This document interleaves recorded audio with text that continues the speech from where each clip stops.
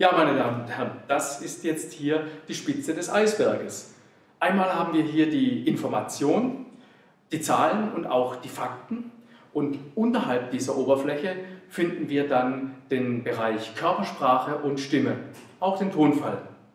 Darunter wiederum haben wir den größten Einflussfaktor. Und das ist unsere Gefühlswelt, unsere Emotionen und auch die Sympathie. Bei den Gefühlen unterscheiden wir einmal zwischen den Gefühlen, die wir nicht so gerne haben. Das ist zum Beispiel Ärger, Angst, Stress, Überforderung, Zweifel. Auf der anderen Seite haben wir Gefühle, die wir mögen, wie Glück, wie Freude, Zuversicht und Hoffnung.